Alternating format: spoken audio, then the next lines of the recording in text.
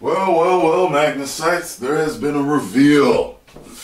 And it is the Xbox Series S world premiere. I don't know why they were revealed this second. I think they should have revealed this first. Or at least them together like PlayStation did. But nonetheless, let's check this out.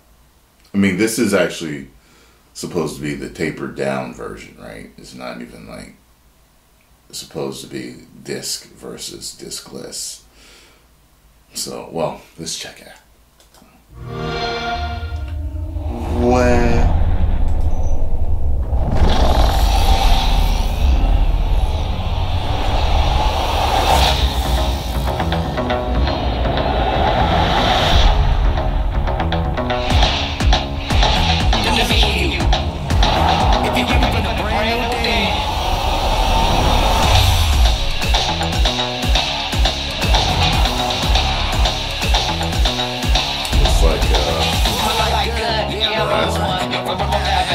Well,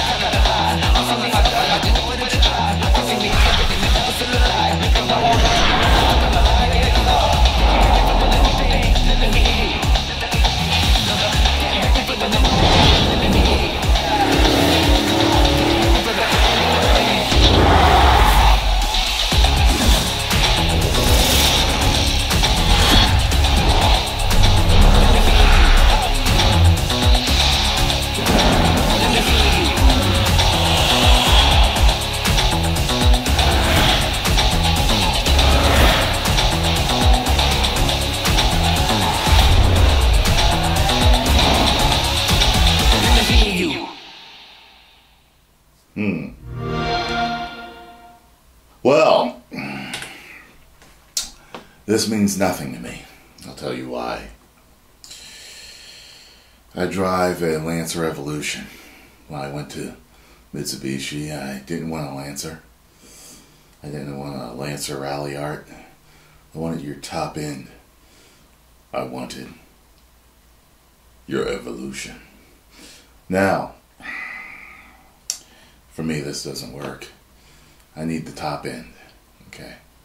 I need the Series X. But for people whose saving ability is low or just don't have it, I'm sure this would be fine. You know what I mean? Uh, this this has zero interest for me. Zero. Even if I had a child and I'm gaming and they want when I'm buying them two Series X's are gonna be in the house. You get what I'm saying? So that's just me. I mean, you can let me know what you think down below, but um, it's great and all. But uh, yeah. All right, Xbox. Uh, see you when you come out with the Series X.